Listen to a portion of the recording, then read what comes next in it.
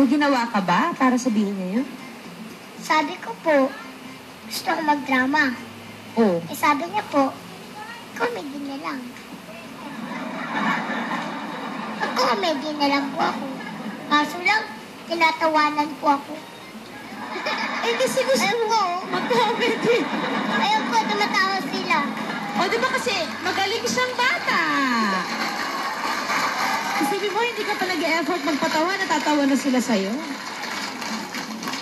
Ewan ko nga po kung bakit ako Eh, bakit tinatawanan. hindi mo sila tanungin? bakit niyo po ba ako tinatawanan? Kita mo lang? Narinig mo ba? Ba- parang natatawa po kayo sa itsura ko eh. Ate Juday, um, turuan niyo po mag-acting. Gusto ko rin po mag magkaroon ng award. Best Dramatic Actress. Ha? Isabel Dizon! Pwede naman. Oo naman, bata ka pa, so madali ka pang matututo. Sabi po nila, ang galing-galing niyo sa drama.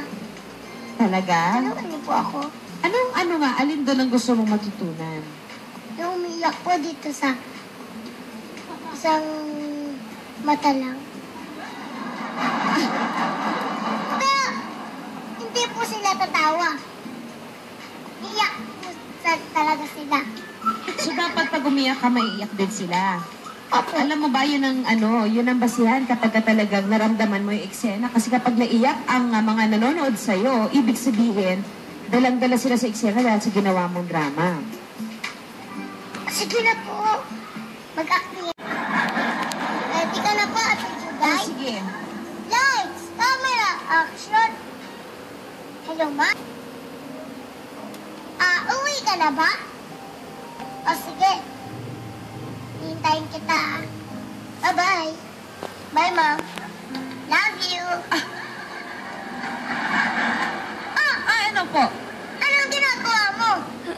Pinagmamastang ko lang po kayo, ate. Ang tamad-tamad mo? Di ba ang sabi ko sa'yo, linisin mo tong bahay? Naku, eh, laki-laki naman po nito eh. Pwede po ba pa isa-isa lang bawat araw?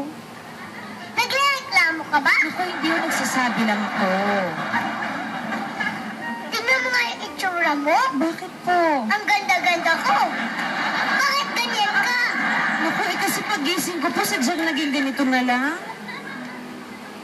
Bakit ako gumigising? Ganito pa rin itsura ko.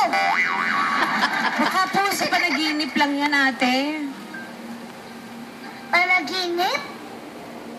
Bamumot ba ako? Naku, sa inyo nang galing yan, ate. Hindi ko sinasabi yan, ha?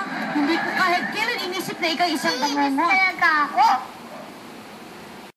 Sa kanyang paggalaw, tayo ay kanyang napapagalak.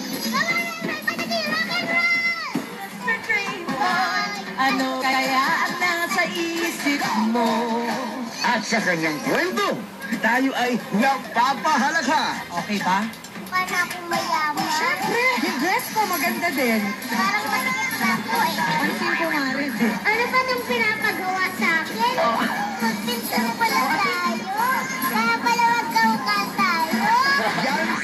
Aling Maliit. Patuloy na tayong pagsasayahin sa mga bigbigyang sorpresa para sa lahat.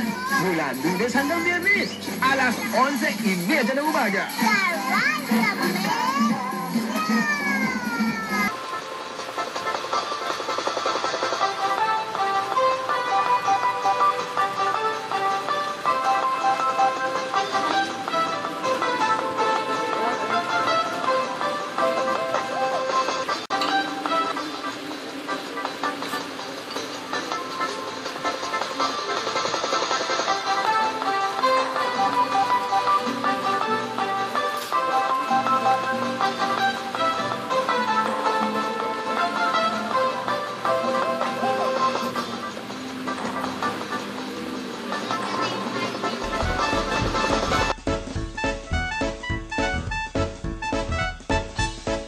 Happy birthday